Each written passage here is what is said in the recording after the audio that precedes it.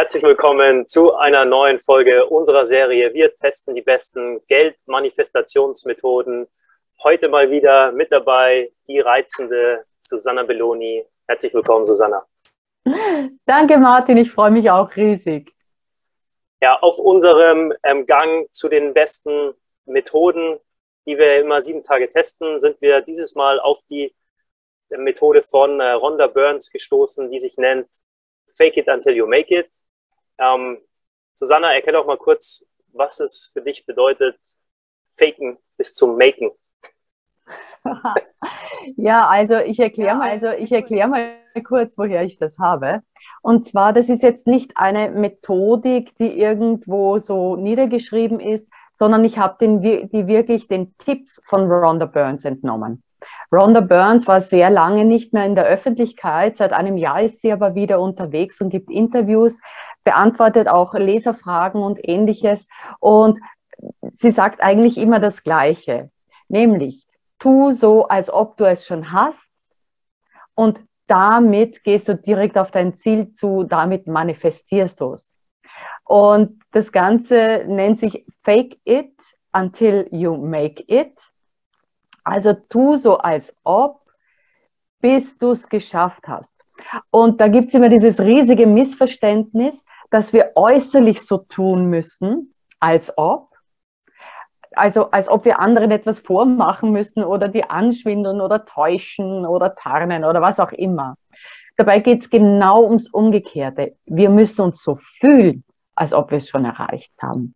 Das heißt, dass die Kunst ist immer wieder dieses Gefühl zu finden, wie fühle ich mich reich, wie fühle ich mich mit äh, einer Million auf meinem Konto oder was auch immer du dir wünschst, gerade wenn es ums Thema Geld geht. Und da sind alle Tricks erlaubt. Es geht aber wirklich darum, sich selbst treu und authentisch zu bleiben und einfach nur zu sehen, was macht es mit mir, wenn ich mit diesem Gefühl im Alltag unterwegs bin.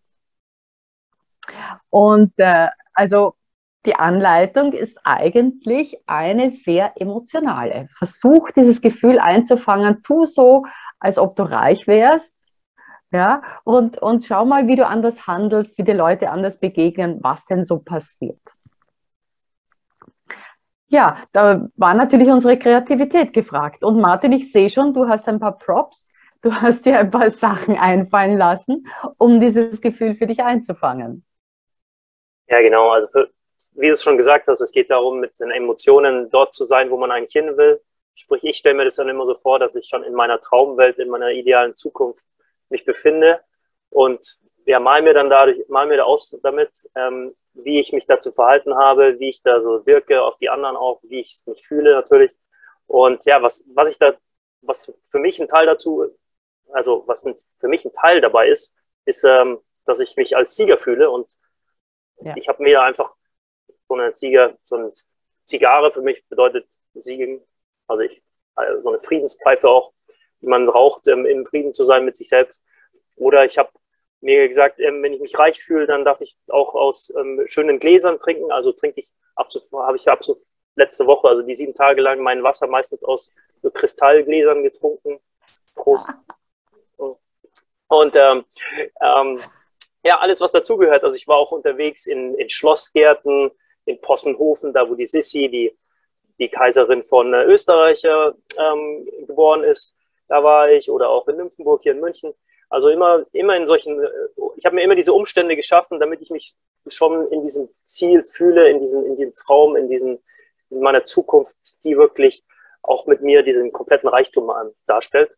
Und ähm, ja, was habe ich sonst noch gemacht? Ich glaube, das, das war es eigentlich fast schon, weil weil es einfach wichtig ist, dass ich mich wohlfühle und ich habe mich auch entsprechend angezogen und so. Also alles, was dazugehört eigentlich, was, was, ähm, was, mich, was mich dazu bringt, auch entsprechend anders zu agieren und nicht mehr so in diese alten Muster zurückzurutschen. Wie hast du es denn gemacht, Susanne? Ja, also ich habe versucht, äh, mich sehr viel zu konzentrieren immer wieder und dieses Gefühl des Überflusses, dieses Geben äh, Wollens, dieses Ausgeben Wollens zu, zu finden und auch diese Freude an der, an der Fülle. Und das habe ich eigentlich nur mental gemacht, beziehungsweise habe mich einfach nur konzentriert, immer wieder da reinzukommen und habe mir dann auch überlegt, äh, ja, wie würde ich mich dann kleiden? Und das Krasse war bei mir gegenteilig als bei dir. Ich habe gerade nicht den Luxus gesucht, sondern ich habe mir gedacht, hey, wenn ich Millionär bin, dann ziehe ich an, was ich will und ich gehe jetzt mit der Jogginghose mit den Hunden spazieren. also, das ist witzig, ne? Aber das war wirklich dieses, hey, ich weiß doch, wer ich bin. Und ich habe das für mich so auch gemacht, dass ich mir da so äh, zwei mentale Tricks zurechtgelegt habe. Der eine war, äh, so wie ein Geheimnis mit sich zu tragen. In Wirklichkeit bin ich ja Millionär, nur keiner weiß es. Ja, so ein bisschen rumpelstilzchenmäßig. Ach, wie gut, dass keiner weiß. Mhm. Und das zweite war auch, dass ich mir ähm, natürlich das ähm, versucht habe vorzustellen, wie fühlt sich das an als, als reicher Mensch. Und ich liebe ja Gunter Sachs. Also wer den nicht kennt, ein Millionenerbe aus dem Hause Opel, war sehr bekannt äh, als Playboy und Lebemann, aber auch sehr erfolgreich als Geschäftsmann, mit Brigitte Bardot sogar verheiratet. Und den mag ich total gern. Und da habe ich versucht, mich zu fühlen, als ob ich er wäre. Ja, wie würde ich, wie würde ich handeln? Ich wäre viel entspannter, großzügiger. Ich sage, komm, pfeif drauf, ich mache, was ich Lust habe und nicht, was die anderen wollen oder sagen. Also so richtig mächtig, selbstbestimmt und kreativ. Und das hat für mich eigentlich gut funktioniert. So, also die, die Krücken habe ich gebraucht. Was ich nicht gebraucht habe, war irgendwas Äußerliches. Komischerweise. Das hat mir nichts bedeutet. Ja, das, das ist ja auch das, das Geniale, wenn du sagst, du, du hast, jeder hat seine eigene Herangehensweise und wie du schon anfangs gesagt hast, die Kreativität darf man komplett äh, walten lassen. Ähm, dass es für mich auch darum ging, ja nicht dieses Ganze noch anzuziehen, was ich äußerlich noch brauche, sondern mir sagt schon, sag, eigentlich habe ich eigentlich schon alles und ich kann das schon machen, was ich will. Ähm, mir geht es eigentlich nur darum, mich frei zu fühlen und, und mich so auszudrücken, so wie ich will. Das ist, mhm. das ist so meine, das war meine Herangehensweise, wo ich gesagt habe, hey, eigentlich, ich brauche keine neuen Anzisachen, ich brauche nichts, keine neuen Einrichtungsgegenstände, alles ist schon da. Ähm, ich mhm. darf es nur holen. Es steht vielleicht auch nur rum und verstaubt. Ja. Also. Ja, das, das, das ist mir auch so gegangen. Ich hatte das Gefühl, ich habe doch alles. Ja, was, was muss ich da jetzt äh, groß machen? Und äh, das fand ich toll. Also mir geht's gut mit dem. Ne? Also habe hatte eine tolle Woche, obwohl am Anfang dachte ich, ja, ich würde viel mehr, ich weiß nicht, so Kontoauszüge so fälschen und andere Zahlen hinschreiben oder irgend sowas, was die Rhonda Burns eben als Tipp gegeben hat. Aber habe ich überhaupt nicht gebraucht. Ich habe ähm, lustigerweise dann begonnen, in Gedanken mir zu überlegen, was ich mir alles kaufen möchte mit meinem Geld und bin da sehr vernünftig geblieben.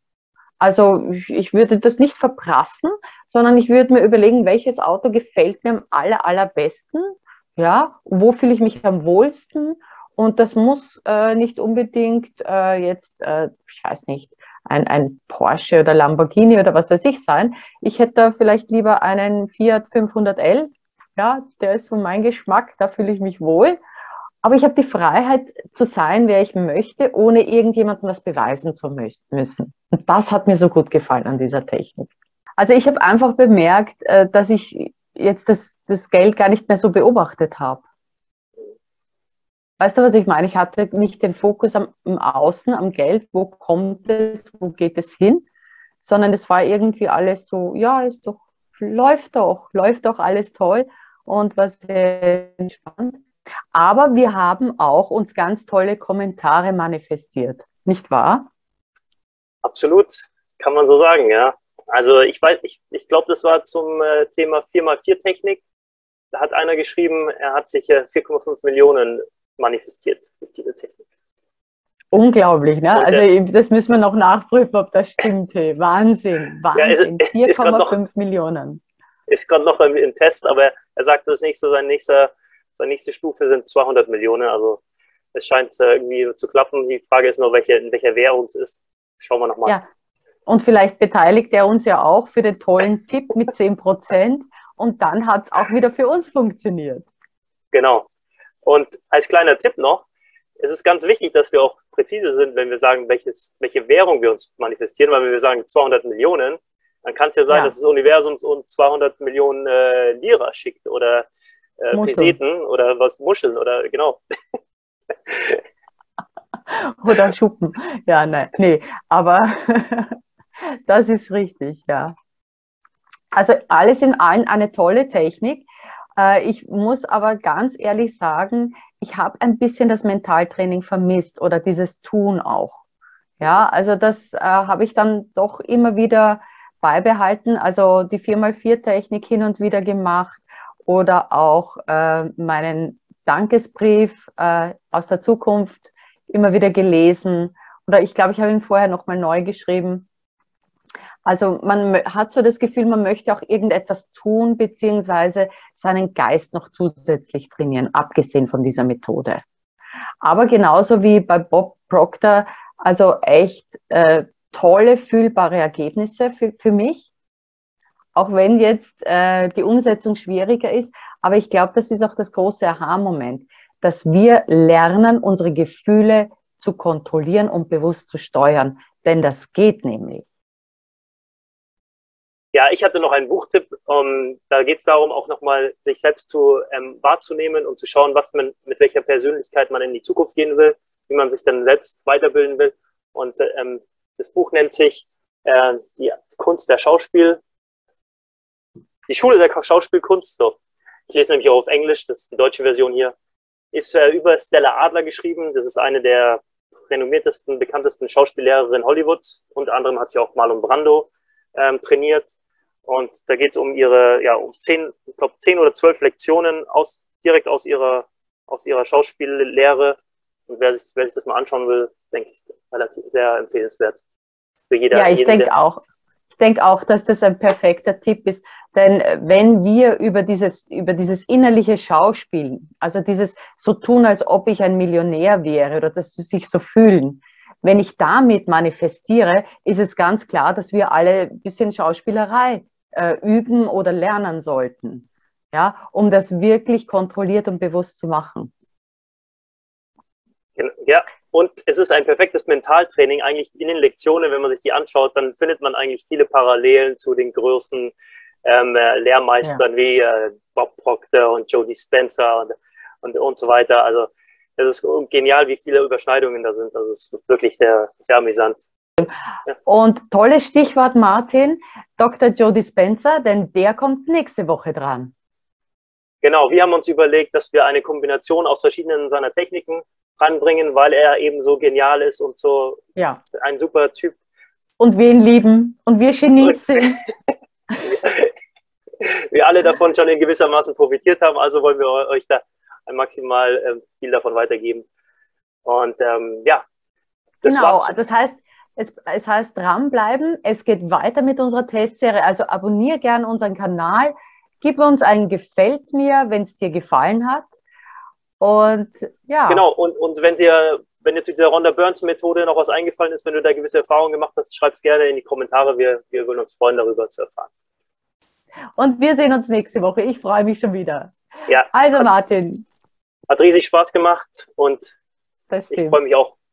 Wir werden immer weiter. besser und besser. so wie jeder andere. jeder andere. Ciao.